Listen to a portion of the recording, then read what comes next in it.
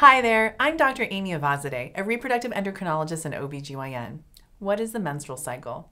The menstrual cycle is a month long process where your body prepares and releases an egg during ovulation and prepares the body for a possible pregnancy.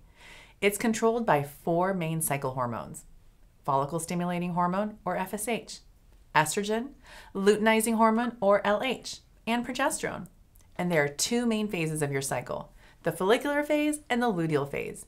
These phases are separated by the release of the egg. During the follicular phase, your body recruits and prepares an egg for release. First, FSH stimulates the ovary to produce follicles. In each follicle is an egg. Then FSH helps the ovary choose the dominant follicle, which contains the egg that will mature and be released that cycle. As the follicles are growing and one becomes dominant, the ovary starts producing estrogen. Estrogen is one of the hormones that helps prepare the uterus for pregnancy by thickening the uterine lining. Since estrogen levels start to rise as you get closer and closer to ovulation, an initial rise in estrogen signals the opening of your fertile window. The few days each month when intercourse or insemination is most likely to result in conception. Once estrogen reaches a high level, this signals your brain that the egg is ready to ovulate. The brain then sends a surge of LH to the ovary that ruptures the follicle and triggers it to release the egg. A surge in LH is predictive of ovulation, and since ovulation occurs about 12 to 36 hours after an LH surge, ovulation occurs and then the egg is released. But as we know, your cycle isn't over after ovulation. Then we enter the luteal phase. During the luteal phase, the egg travels to the fallopian tube where it will hopefully be fertilized by sperm and then will make its way to the uterus in hopes of starting a pregnancy. While this is happening, the empty follicle on the ovary starts producing progesterone. Progesterone is the hormone that stabilizes that thickened uterine lining and makes it sticky enough so that a fertilized egg could successfully implant and a pregnancy could begin. If the egg isn't fertilized or doesn't implant, then your progesterone levels drop and your period begins. What is the two week wait? If you're trying to get pregnant, you may have heard the term two week wait, or TWW for short, and it's not always everyone's favorite term. The two week wait refers to the period of time between an LH surge or a positive ovulation test and when you're able to take a pregnancy test. As you probably guessed, there's about a two week or 14 day period between ovulation and when your next period should arrive, or if you're pregnant. This is also considered a missed period. The two week wait is often a dreaded term for those trying to conceive, as it is quite literally a two week wait in which it's difficult to know what exactly is going on in your body. But with a little more knowledge of your cycle, you can have a better idea of what usually happens during the two weeks between ovulation and taking a pregnancy test. What is implantation and when does it occur? As we now know, the part of your cycle after ovulation is just as important as the part before it. After ovulation occurs, an egg can be fertilized by sperm and then travel down to the uterus. Once it's in the uterus, the next step is for the embryo to attach to the uterine wall. This is called implantation. It marks the moment a pregnancy begins. It typically takes a fertilized egg about 7 to 10 days to implant after ovulation. These four days are referred to as the implantation window, when implantation and getting pregnant is actually possible. As you may have guessed, the implantation window falls right in the middle of the infamous two week wait.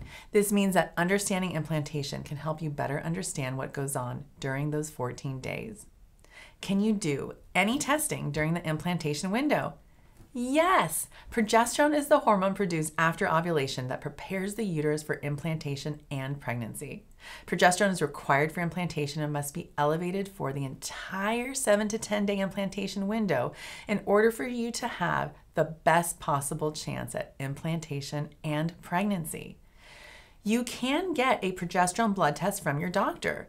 But while this test can confirm if you ovulated, a measurement taken at a single point in time doesn't tell you anything about whether or not your levels remained elevated for the entire implantation window. That's where PDG comes in. PDG is a marker of progesterone found in urine and is elevated when progesterone is elevated. I recommend Proov tests to all my patients who are tracking PDG and ovulation. Proov has a unique testing method to measure PDG during the implantation window to confirm successful ovulation. High PDG levels during these four days can really help increase your chances of getting pregnant. I was recently part of a clinical study where we compared women with low PDG after ovulation against women with high PDG after ovulation. The results were mind blowing. Women with high PDG levels during the implantation window were 75% more likely to get pregnant. On the other hand, when PDG levels were low, the rate of first trimester miscarriage was almost 90%. Therefore, having good PDG levels during implantation if you're trying to get pregnant is so critical to your success. How can you support implantation? All the information about implantation and progesterone is great, but what exactly are you supposed to do with that? The best way to support implantation is to support progesterone production.